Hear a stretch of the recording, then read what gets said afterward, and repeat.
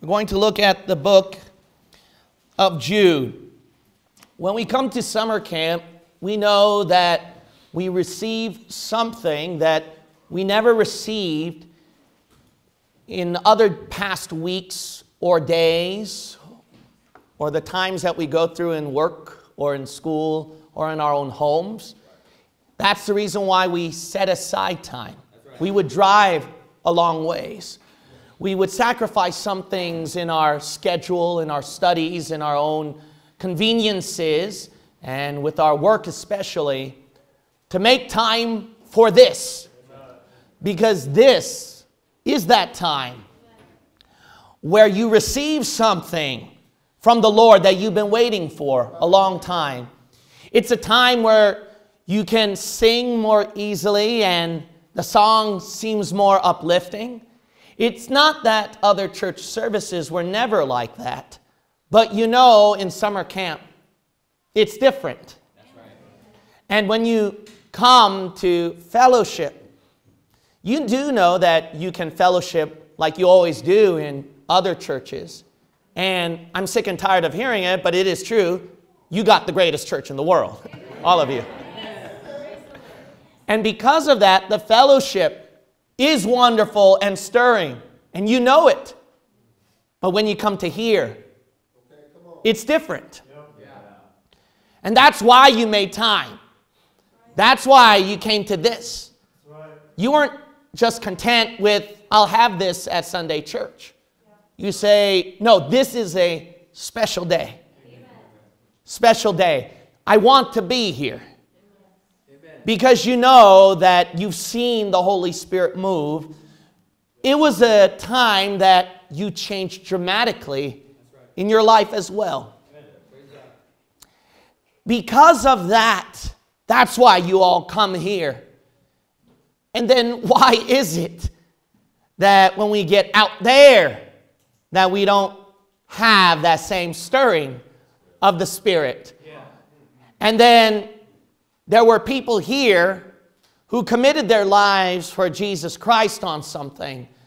And some of them thought that I'm never turning back and I've decided to follow Jesus. But then you give it a couple months and then they fall back to the same old ways. And that completely discourages you. And you go, What's the matter with me? What's the matter with me? And what's even worse is that the desire that you had for summer camp, if you're going to be totally honest, and you don't tell it to us, but only to yourself, if we give it six months, and then the next summer camp is announced, instead of that desire that I want to go, it's I'm not sure if I can go. Because I'm too busy because I got health issues, because I got bills to pay, because of real life scenarios that we all have to face that I can't blame you for. And why is it that these things must happen? And why is it that, as that one verse goes, I am bent on backsliding? Why can I stay stuck and glued and stick to that fervent desire and that fire that I experienced at summer camp where the Lord moved and dealt with my heart.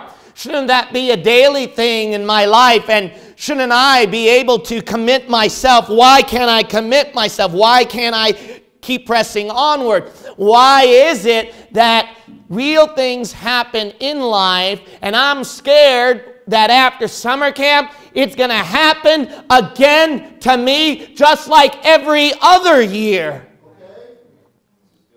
And I hate that. And I feel like Paul that, oh, wretched man that I am, who shall deliver me from the body of this death? For to be carnally minded is death. For what I would, I would not, and that I do, I do, I do not. There are things that I want to do for the Lord and I can't do it. And then there are things that I don't want to do for the Lord, and strange, I do. And in summer camp, it's very strange that, in spite of how the flesh would try to interfere or to get you to lose the fire, you somehow keep getting it. And there are those days where you thought that you lost the Lord, those days that you thought you won't come back to church, and then God just seems to pick you back up. He just keeps stirring your heart again. And just as much you are bent on backsliding, you are bent on restoration. You are bent on serving God again. You are bent on revival. Amen. How can I, how can I stay stuck in this revival and not keep going back and forth like a ping pong table or a pinball machine? What is it that's missing in my life that I keep repeating the same old? We will discover that answer today. And it's the basic of all basics that you and I wouldn't know, but we really didn't know. And perhaps you don't really know now. But again, it is something that you do know. But let's answer that deep question later on. Jude 1.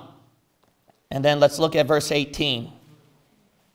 Verse 18. How that they told you there should be mockers in the last time, who should walk after their own ungodly lusts. These be they who separate themselves sensual, having not the Spirit. But ye, beloved, building up yourselves on your most holy faith, praying in the Holy Ghost Keep yourselves in the love of God and looking for the mercy of our Lord Jesus Christ unto eternal life. And of some have compassion, making a difference, and others save with fear, pulling them out of the fire, hating even the garment spotted by the flesh. Let's pray. Now, Father, fill within me the power of your Holy Spirit and the cleansing of your blood. It doesn't matter if I preached a thousand times before or if I'm the first one here, where it can be the easiest point, Lord, it is no excuse and it is no good basis or especially good authority for me to preach in my own flesh or the way that I want or to get away with things. I take this seriously. This is your sermon. This is your word. And I beg thee, Lord, and I don't care if you've been helping me a thousand times, I need thee every hour and I need you in this message one more time, Father. And I'll keep praying it always. One more time, Father. Fill me, use me, preach through me. May they see Jesus Christ and not Gene Kim. May they see their own deplorable condition that is in need of something from you. Make them desperate for thee. Make them thirst and hunger for thee, for renewal, restoration, repentance, rededication. Oh God, minister to these hungry spirits and souls that have been dying throughout this deserted world where their books, their brooks have run dry. Oh God, oh God, feed us in Jesus' name we pray. Amen. Amen. My first point, which we will be covering in, is separation of life. The separation of life. The title of my message is Plugged In plugged in. I think I had a sermon a, a long time ago that had a similar title, but I would like to take a different spin on that. When you have your own laptop, MacBook, or device that you're going to use, it's probably very important to you because that's where all your work projects are at. And that's your life's work if you're going to get paid for that in your workplace. So you got to take very good care of that. And especially if you're a minister and you're used to putting notes in a computer, or if it is a MacBook or some sort of laptop, the worst thing that can ever happen, God forbid, is that you lose all your notes. You lose all your notes. Now, for me, I wouldn't have much of a problem compared to Dr. Walker because he has a thousand points And me, I only have three. So I don't think that if I were to lose notes, you know, I'll have more of the peace and faith in the Lord than he does. but then, for those of you who go to college and school, the worst thing that can ever happen to you is when you don't have your battery line with you. And then you know that, oh boy, I got to cram in. I got to do my homework because I kept putting it off. And here's a last minute thing. And then as soon as you open up your laptop and you're about to pound away at your homework and you know you're going to need a couple hours, the, the best thing that can ever happen in your life is that the battery says 10%. When you look at that, then you're panicking, then you're sweating, and you really need that. Some of you who are really fleshly, you need that. You need your laptop. You need your cell phone because you need to go on your Facebook and your YouTube and you have some game over there. And perhaps you're on a flight and it's a long flight because you video gamers and you people who go to online, two hour flight is such a long time for you and you're just so bored. You need that electronic device because it's that important to you. As much as a preacher would lose his outline, it's that important to you that I need to watch something. I need to post something. I'm so addicted to it. I got to post something. I got to play a game. So, whatever person that you are, we can all agree, all right? If you have used electronic devices, it's a big deal. whether you're worldly or semi spiritual, because you put your notes on a laptop and you're not right with God to write it with a pencil and a notebook paper, bless God. You all need to repent and get right with God. but whether you're spiritual or you're fleshly, if you use electronic devices, we can all agree that it is that important to me that I need that battery life.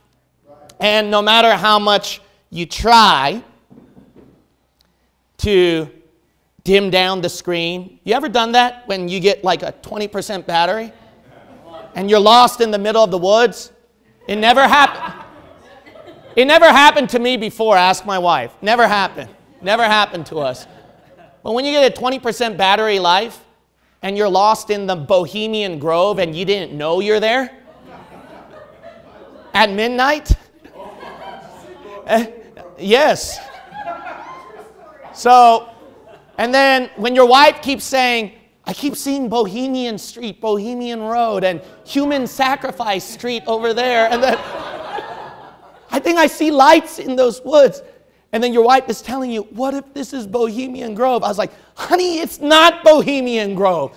Calm down. I saw a lot of similar roads down there that says Bohemian or San Jose or even Pensacola. That doesn't mean we're in there. And then we just kept driving for an hour, and then I dimmed the screen in that cell phone because every battery life is precious.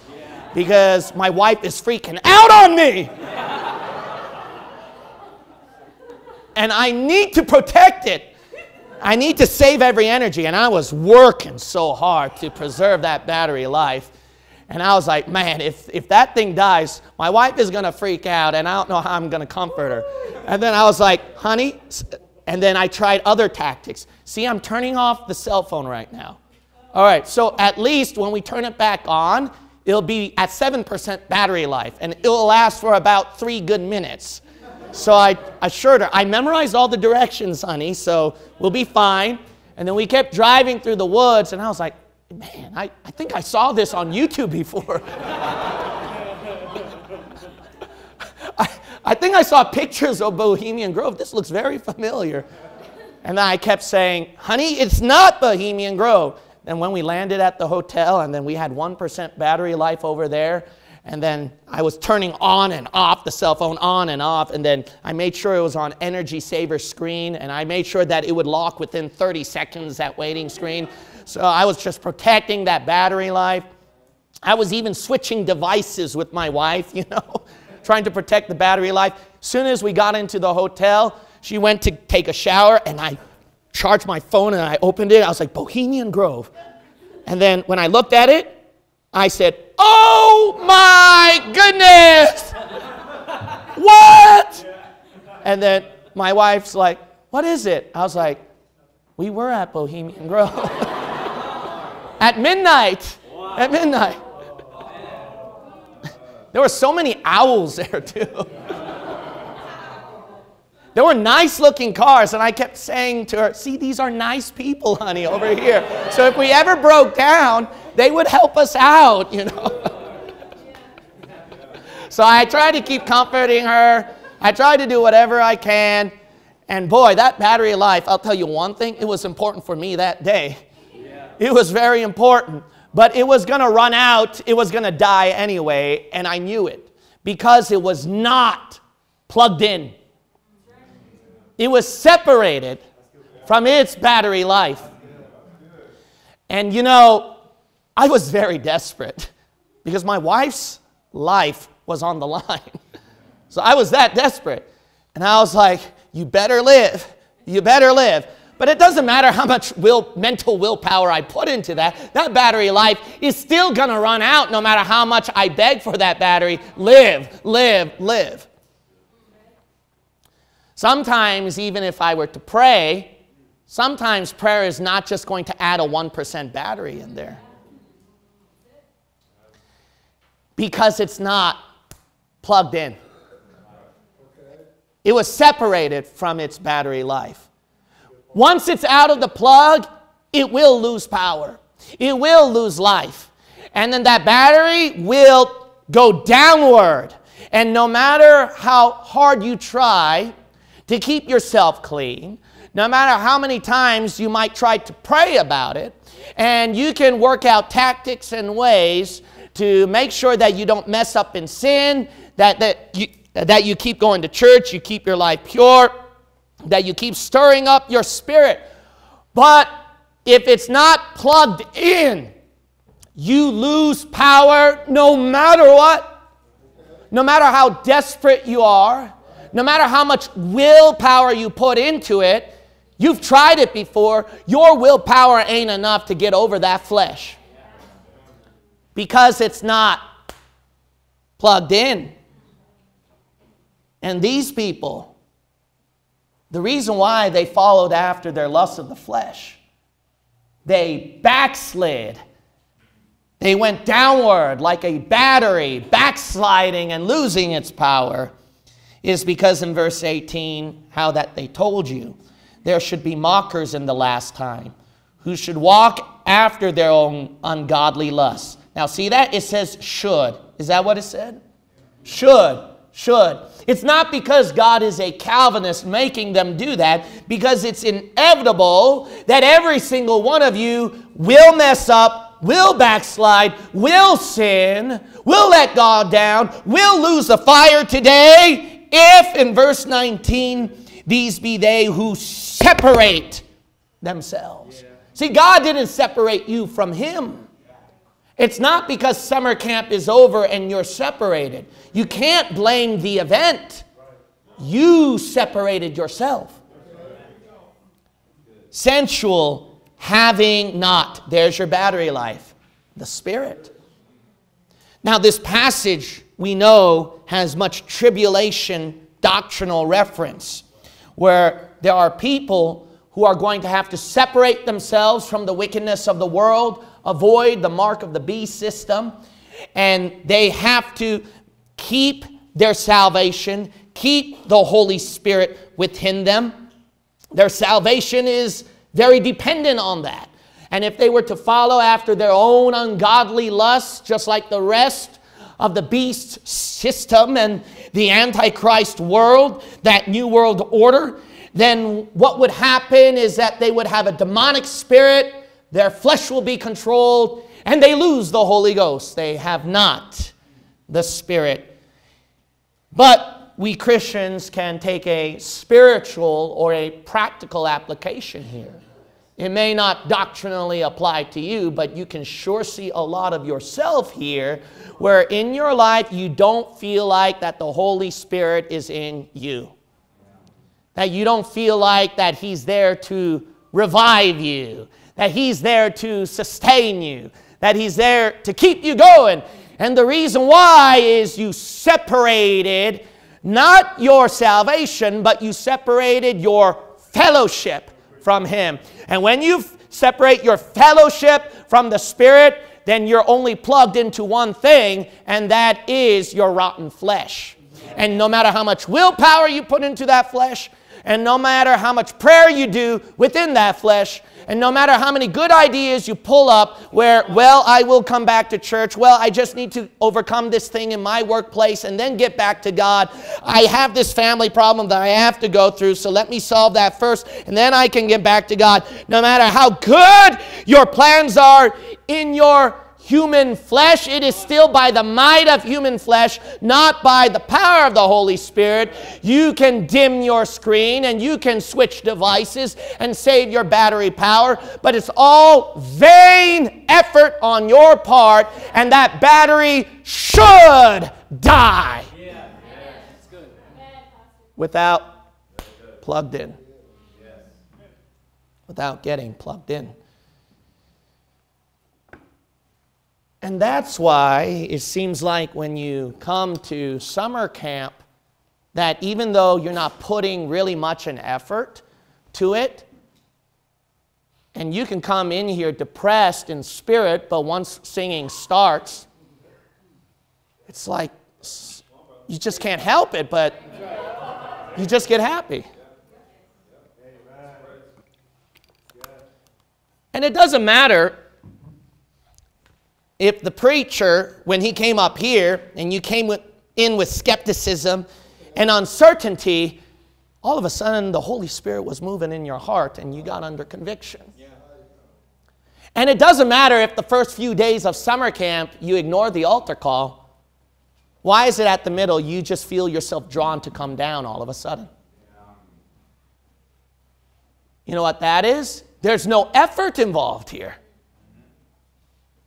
Because once the device is plugged in, it doesn't matter if the cell phone is used up even more, or if you have more applications running on that thing, or if you were to go back and forth switching devices or turn off the power or turn on the power. If that device is plugged in, then no matter what, the Holy Spirit will convict you and move your heart and then empower you just like that battery and there's no stopping it. There's no stopping that battery from getting filled up once it's plugged in. And when it's plugged in, power's coming in. And then your depression can push it away. And then your sin problem can push it away. And then your, you have these indifferent things inside your mind and heart. You have a defeatist attitude, I'll never get right with God. But when that battery power gets plugged in, for some weird reason, you feel like hope is getting drawn into your heart again. And then the Holy Spirit is moving in your heart. And then God is showing you something. And you can't help it but get right with God again and sing with your heart. Give your life to Jesus Christ and do something for Him after this camp. Because it's been plugged in. Sorry to some of you, you all got plugged in today. Y'all got plugged in today. And battery life must come into you. The Holy Spirit must move within your hearts and He'll keep stirring within you. You have no choice. The rest of your miserable week, the Holy Spirit will empower your life, move upon your heart, stir a fire, and that battery life will keep getting better and better and better and better and better. Because you got plugged in. And then all of a sudden, after summer camp, no matter how much willpower you put into it, and no matter how much you try to save the power, you can turn on and off the screen. I don't get it. Why do I keep messing up again? Why do I get zapped? Verse 20, the second point is the spirit of life the Spirit of life.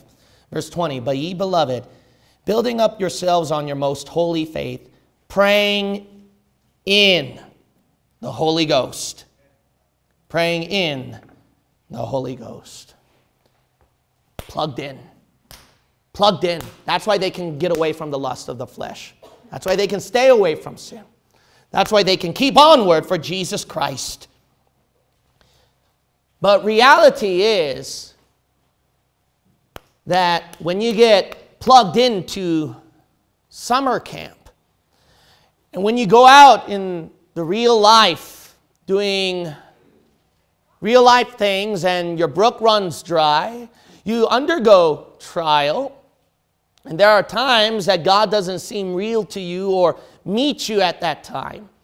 And then the same old, same old, you run dry. And just sin 24 7 around you with that world. And you can't help it but be influenced by that because you've been separated from your power. You've been separated from getting plugged in.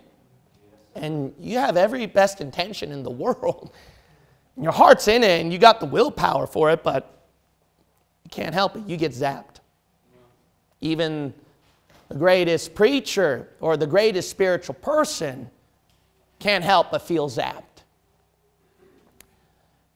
Uh, why is it that when I come here, it's easier? When I go out there, it's harder because been separated from the plugged in, being conjoined to being plugged in. It makes a big difference. Well, the thing is, for some of us, or maybe even most of us, how we ended up in this summer camp to begin with was not really that we had every willpower or intention to come to summer camp if we're going to be totally honest. It's because somebody else told you how great the summer camp was. It's because someone kept following up on you. It's because someone kept praying for you. It's because the Lord opened up doors and opportunities where you can get space from your work time and space from your school.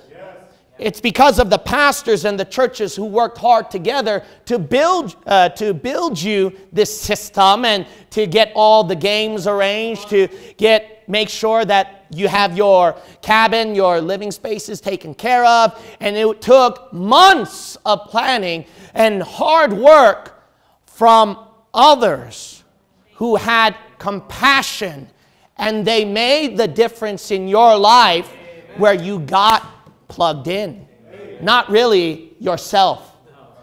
And that's what happened here at verse 22.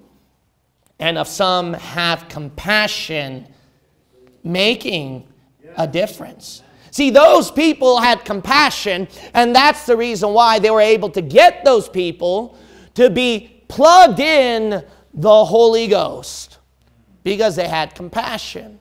Let's be honest with a lot of you young people. Your parents and your pastor had compassion to make the difference where you came to summer camp, and it was at that summer camp God changed your life.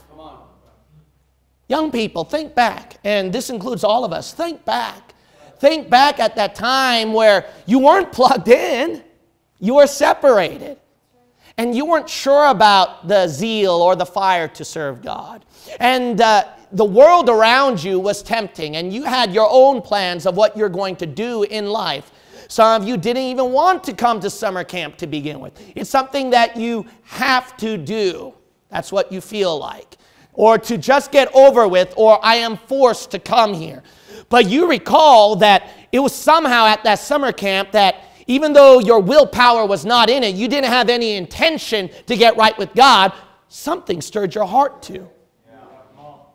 You never had an intention to make friends here, but somehow it did. And you had long lasting friendships and people and brothers and sisters in Christ that you can have a bond now and turn to. And they are a positive and a spiritual influence in your life, unlike the people in the lost world. And then you never expected the preacher when he preached that sermon. That was the sermon that made the difference, that changed your life. See, the preacher had compassion to fly over hundreds of miles, thousands of miles to make a difference on somebody's life that may not even be your nationality, your identity, your culture, your personality. A totally different bird from you, so to speak. But for some weird reason, the Holy Spirit used that to minister to you. And that was people who had compassion and got you plugged in. And that's what made the difference in your life. And when we get out of summer camp, because summer camp is not the only thing that plugs you in. When we get outside of summer camp, some still had the compassion to keep following up on you. Your family had compassion to keep bringing you to a Bible believing church. Your home pastor had compassion to preach the Word of God to you. Somebody had compassion to keep you plugged in. And that's why you still retain the fire. But what happens when some do not have compassion to plug you in? Then no one's there to plug you in. And no matter how much intention or willpower you have, your battery life dies and it gets zapped and you can't help it. It's just a natural thing, it's something unconscious that you don't keep track of. And then the flesh just crawls in, and then your priorities get changed again where you used to have a priority on Jesus Christ in church and serving God and anything Christian, and you had a fire and a desire for the old time hymns, and you were reading your Bible and meant something to you this time, and then the sermons and the Bible studies now became different to you and you are jogging down notes and writing down everything, those things all of a sudden start to gradually without you knowing, no willpower, no intention. It just slipped in your unconscious flesh where you didn't keep track, and now the notes have gotten smaller when you're writing down notes in Bible study and preaching. Now you don't write down any notes anymore. And now prayer, where you used to have a fire during prayer meeting, now it's became very dreary, bit by bit and what you had a desire for the Bible, now you are preoccupied with your school textbooks and they chunked up your time. So you have no time for Bible reading. You're preoccupied with your work, so you have no time for Bible reading and prayer the devil sent trials into your life, or the Lord was testing you. And then what happened is, whether it be health problems, financial problems, family problems, now they've taken priority over Jesus Christ gradually, slowly, sneakily, without your willpower and your intention involved, but just slipped in your unconscious flesh. And then give it six months, you'd be surprised now it's a struggle for you to read the Bible, a struggle for you to come to church. And when you fellowship with your brothers and sisters in Christ, it's hard, it's a struggle. And that's because you didn't get plugged in. And the battery life, the spiritual life within you, that fire, has to, has to die. Inevitable it will die, it should die, and it will die. And if you expect after this summer camp to do the same thing that you've always done and let that thing slip in your unconscious mind, then you will die. And I promise you that much. As much as I promise you that you will go to heaven, you're eternally secured, I promise you, you will backslide and mess up in your Christian walk and lose that spiritual fire and zeal, and you'll repeat the same old sinful habits. You'll still have the same old depression, the same old complaints that you were much different before you got saved. You have to die because you weren't plugged in. And that only happened because somebody else had the compassion for you to plug you in. And that's not real life. It won't happen every day. So, what can I do? Well, Jude mentioned something to you. You know what's very interesting? about getting plugged in when you look at verse 20 and 21? Did you notice everything is ing, ing, ing when you're plugged in to the Holy Spirit? You notice, but ye, beloved, building up yourselves on your most holy faith, praying in the Holy Ghost, keep yourselves in the love of God, looking for the mercy of our Lord Jesus Christ unto eternal life. What does that mean? All these instances of being in the Holy Ghost are a part of being in the Holy Ghost. They're not the answer. They're not the answer to be in the Holy Ghost, getting plugged in. They're all a part of this process. But there is only one phrase, only one phrase in this passage that did not have ing in it. Meaning that if you do this, then you will be building in your most holy faith, praying in the Holy Ghost, looking for the mercy of our Lord Jesus Christ. Did you see that? Verse 21 keep, not keeping. Keep yourselves. That sounds like getting plugged in. Keep yourselves in the love of God.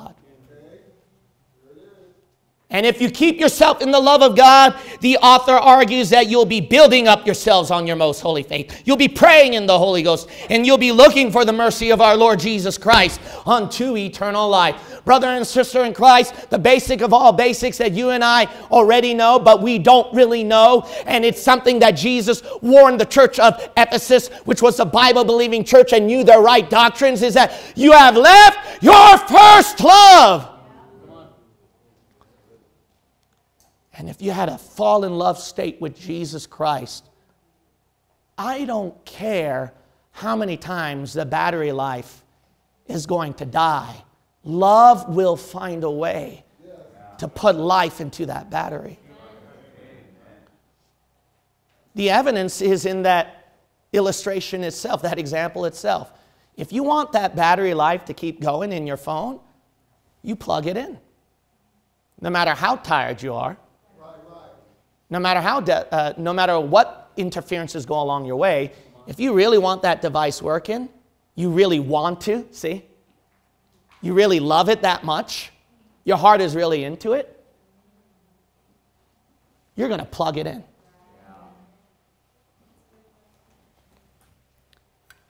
Do you love Jesus Christ that much? And that's my third point is the savior of life. The savior. That Hebrews 12, it was such a basic, looking unto Jesus. That way we don't be weary and faint in our minds. You have left your first love.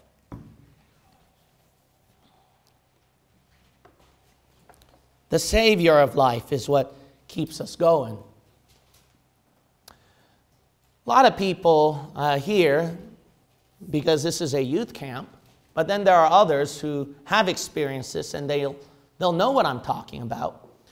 But uh, there's a person in my life that means so much to me next to Jesus Christ, and people understand this when they get married. And she's the one true love of my life next to Jesus Christ. It changed my life forever and made a huge difference, changed a lot of things that I did. There were so many interferences that happened. A lot of you knew about COVID. A lot of, knew, a lot of you knew about my personal struggles, what me and her went through. And in spite of them miles apart, and so many people, and so many events, and so many problems that interfered, I did not give up on her. And nothing would separate us in our marriage even during our marriage, because we're very different people and very different cultural backgrounds, we don't have a perfect life. And we do fight. We do have stressors. And we had, we were going through COVID, so I was stabilizing both my church and my marriage life. Yeah, that was easy, wasn't it? Couldn't God just do one and then the other next? But during that time, you know what made me not use a biblical, find a biblical reason to divorce. And I could find biblical reasons to do so. And that's a shame that Bible believers that they would try to find grounds to divorce more easily than trying to reconcile. You know what kept me plugged into her? Is because, it's because I knew and I believed with all my heart and all my soul, I would never get another chance with a woman like her again. And I knew and I believed throughout my previous years in life, it was rare to get someone like her. And that if I lose this one, I'll lose it. So, no matter how much stressful things happened, if I'm juggling my ministry with COVID and my marriage life, don't you think I have a thousand good reasons to not maintain the marriage or to keep the church going?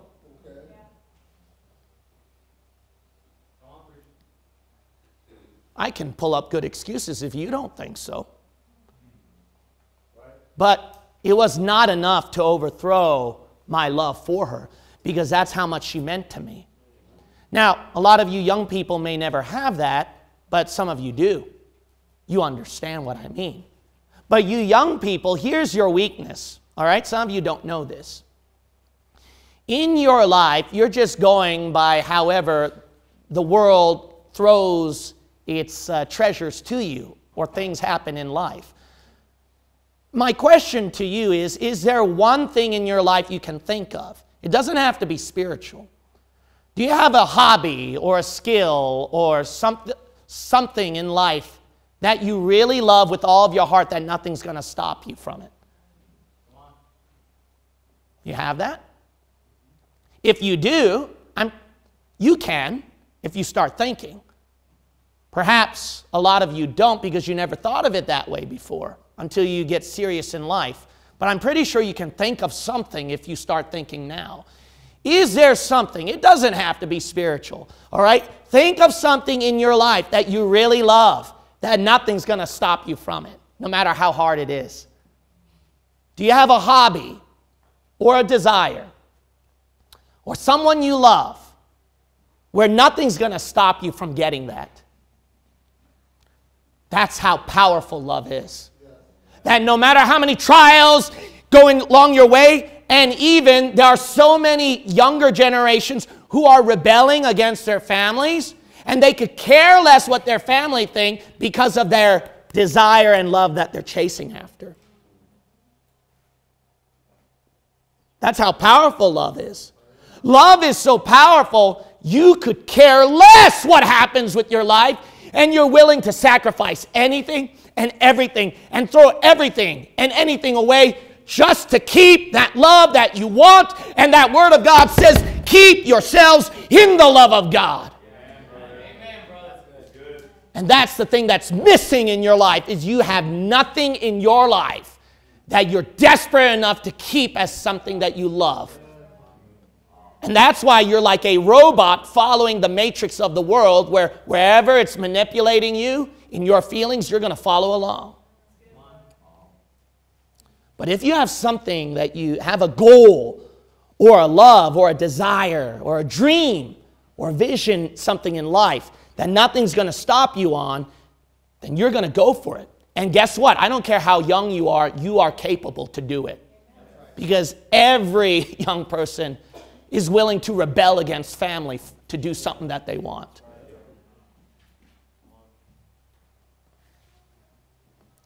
That's how powerful love is. And that's the scary thing about love, too, see, is that you can love other things besides Jesus Christ. The Bible says, Love not the world, meaning that you can love the world. The Bible says, no man can serve two masters, for he will hate the one or love the other. And that's the reason why your battery life keeps dying because something out there after summer camp attracted your attention and changed your heart. And you fell in love with that person or that thing and that drew you away from the love of Jesus Christ. But you're the person that got right with God on the altar. You're the one that was shouting a while ago, amen. You're the one that preached on this pulpit. You're the one that encouraged me. You're the one that prayed for me. What happened to you? You said that you changed your life for Jesus Christ. I heard you in campfire testimony, and you gave a testimony where God changed your life, where you want you made sacrifices to serve Him. I know some of you have made sacrifices in your life to follow Jesus Christ rather than the world, but something out there made you fall in love with it rather than Jesus Christ, and that got you out of the race, didn't it? I guarantee you, and I promise you, every single pastor and church people here have witnessed that, where there were people who sacrificed things for the Lord, but they went back to the world because they fell in love with someone or something else out there. And I know that for my church, BBCI, that I come from, because I grew up in that life. So I'm pretty sure people can really understand that here. I have a strong empathy for my Korean generations and for the Korean Americans. I know you know what I'm talking about here, and you've seen that yourself in your churches. I've seen too much of that. You know why? You're no longer going out street preaching, uh, serving God, or you don't have that fire anymore. You fell in love with something else. Something attracted your attention or someone and got you away from church, and you no longer come back to church. Love is such a powerful thing that no matter how much people have compassion on you and plug you in, we can sing a thousand songs and go four hours long again but if you get plugged in and you still have that old love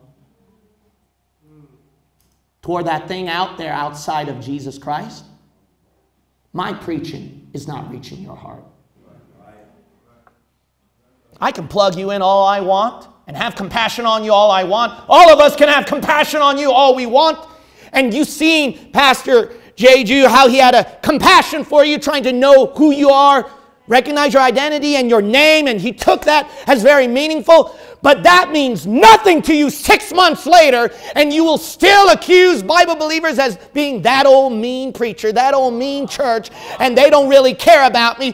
What, what, what we, we plugged you in, man. What happened? You fell in love with something else out there besides Jesus Christ. And that's how powerful love is. Who do you love? Let's face that question now. And you answer it in your heart. Who do you love? Now, let me ask you this question Did they die for you? Did they suffer 33 and a half years to never sin, to never do anything wrong, to go through every fleshly ailment while living perfectly? Did any of that did that for you? Not even your mommy or your daddy. Not even your pastor. Then shouldn't the person who did all that be the one you love the most?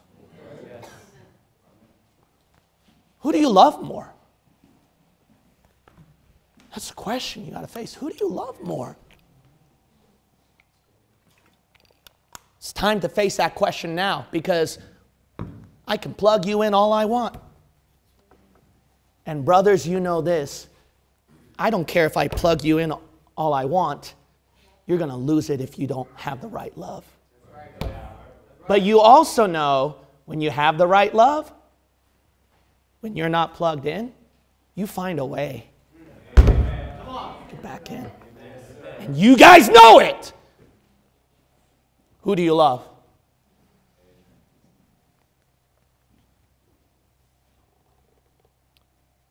You know, I like the passage where it says, Keep yourselves in the love of God. Keep yourselves in the love of God. And that's coming to my subpoint underneath the Savior of life is the search of life. Search of life. Notice, keep yourselves in the love of God, looking for the mercy of our Lord Jesus Christ. You ever seen those who are stuck on heroin and crack? And if you never did, good, don't look at that. That's just awful. It's just horrible. But in California, I'm sure you've seen enough of that when you're driving on the streets. Yes. You ever seen them stopping what they're doing? They can lose homes and families and be broken, homeless, and smell dirty, and even starve. They can suffer shame for all they care if they love that drug that much. Nothing's going to stop them. You know why they keep doing that? They're keeping themselves in the love. They remembered their first feeling when they put it in their body. And it was, man, they never felt anything like that before. They thought they were the happy, happiest individual in the world. And because of that, they want that feeling back.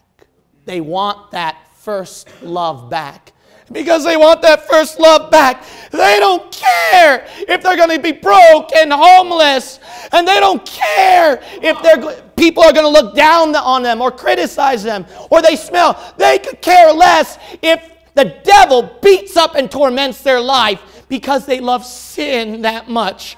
And they could care less because they love their first love. They'll never forget their first love. And it's because of that, they're searching for that again. And when they put it the second time, the third time, they don't feel it as much. But that don't stop them because they want to get back to their first love. And they'll put it in again and put it in again and put so much into them as much as they can just to get back their first love brother and sister in Christ, I know that in summer camp and the Holy Spirit where He worked on your heart, you remember that first love. You remember that first love when it got into you, and there was a fire in you, and there were tears in your eyes, and you were willing to give up anything for Jesus Christ. And then when you got out into the world, that first love was fading. But if you're that desperate to get back to your first love, you could care less if the world looked down on you, criticized you, scoffed you, and you could care less how much the devil would torment your life if you want your first love of Jesus Christ back. Well, ain't the same fire that I felt at summer camp where I was shouting. Ain't the same feeling that I had at the altar call. Ain't the same riveting spirit. I, I just feel dead and lifeless. Heroin addicts don't think that way and they say they don't care. I'm trying to get back to my first love. So they'll plug it in again and plug it in again and put it into them again. And bless God. Your experience with the Lord and your revival does not depend on feelings. And bless God, you shouldn't rely on feelings. If you care about your first love that much, you'll do whatever it takes to plug it in again and plug it in again and put it in you again. You'll go down on the altar even if you don't feel something. You'll shout if you don't feel something. You go to street preaching even if you don't feel something. You'll read that book and pray faithfully even if you don't feel like God from heaven is ministering to you because you want that first love back.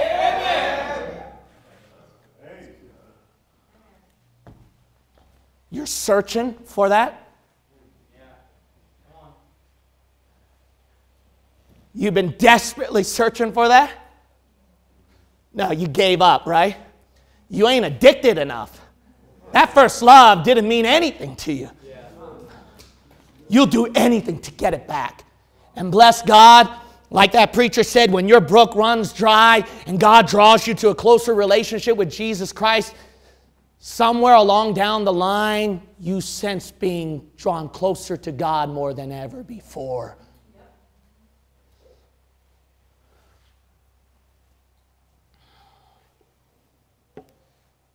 I like uh, the verse where it says in verse 17, But beloved, remember ye the words which were spoken before of the apostles of our Lord Jesus Christ.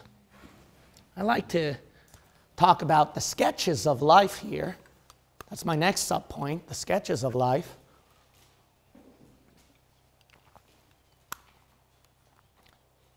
As you keep serving the Lord Jesus Christ. There are some people who never lose the shout and they keep on shouting. And then other people are not as outgoing. They're not as outgoing. But that don't mean that they don't have a close walk with Jesus Christ. That don't mean they don't love Jesus Christ. Because everybody's different. And here's one who's trying to shout it out. And there's one who remembers. Who remembers.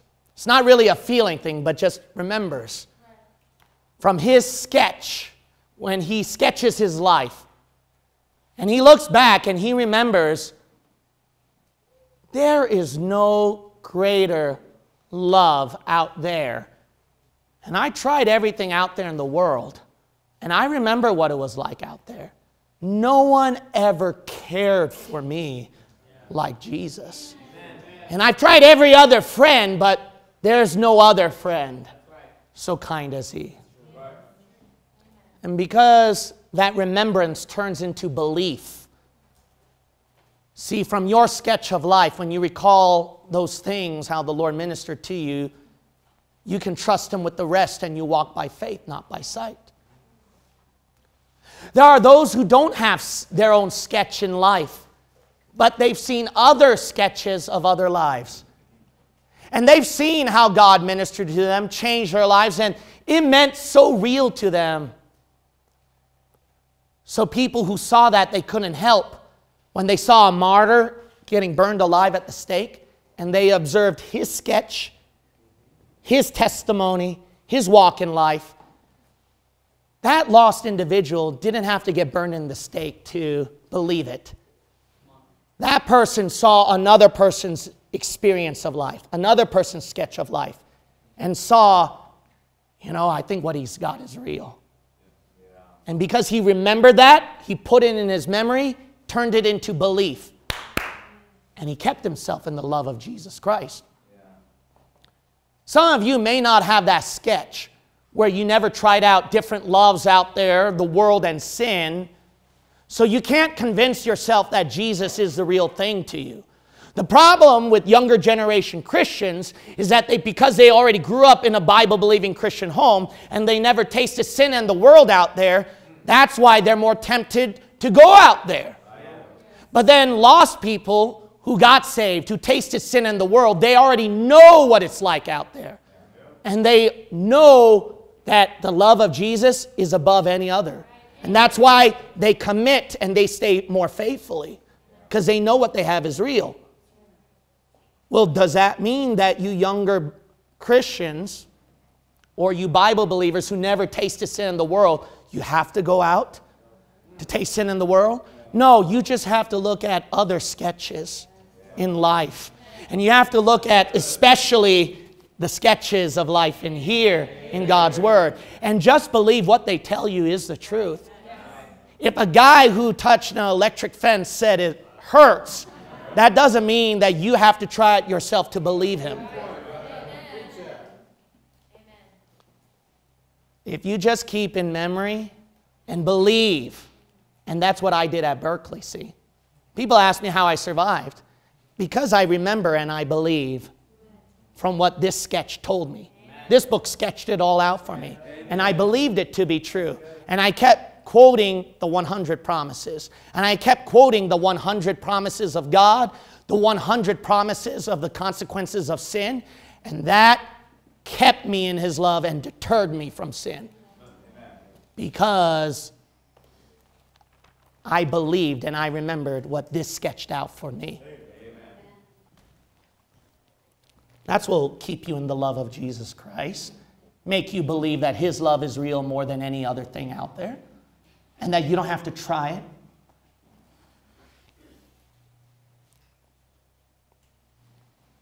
You know what the scary thing is in verse 23, which we all perhaps need.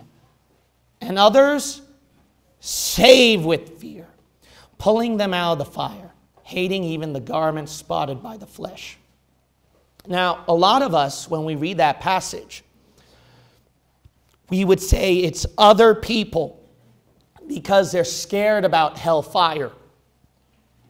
That they would warn other people about hellfire and pull them out of the fire. And it matches very well with verse 22. Some have compassion making a difference. It's like what I mentioned to you before other people who have compassion on you that they pull you out of the fire. Then there are others who are afraid of you going to the fire that they pull you out of the fire. But I wonder if it's possible that it's not other people who fear that pull people out of the fire, but it's themselves. I'm wondering if verse 23 and others save with fear, pulling them out of the fire, is referring to them as themselves. Because it might be possible with that last line, hating even the garment spotted by the flesh. Meaning they don't want their own garment spotted by the flesh. So that could be possible too. And if there's any validity in that, then my question to you is do you have that fear of being separated from the power of the Spirit? That you hate even the garment spotted by the flesh. See, you don't hate, you love those spots on your garment. You got to get rid of those loves. You got to hate them and find your true love again. Once you get that true love, it's going to turn to hatred against everything out there. That's keeping you away from the love of Jesus Christ. What keeps you in that love is fear. You know what really kept my marriage together? You know what really kept me faithful in my church? I was so scared. Amen. I was so scared. Once I make that wrong decision, I can't go back. My testimony is ruined permanently. I'm so scared that to get back my first love will take a lot of work and effort. I'm scared of that world and that devil bruising my life that I have to reap what I sow. It's not going to go away. I am so scared of losing my love. Me and the missus try to date as much as we can, and you know how busy I am. And you know what? When we date, it's even feeling like work sometimes. You know that? Because, yeah, okay, good. I'm not the only one. All right. All right. I'm, I'm surprised I'm hearing some sister saying that. If the guy said it, you're in trouble, you know? so I'm glad I have some sisters here as witnesses, all right? but see, me and her would tell each other, we have to go because we know once we do it, it refreshes our love and relationship again. And we're very scared that we would be too busy to ever love each other again. And busyness is such a good excuse. But love is such a more powerful excuse. Health is a very good excuse.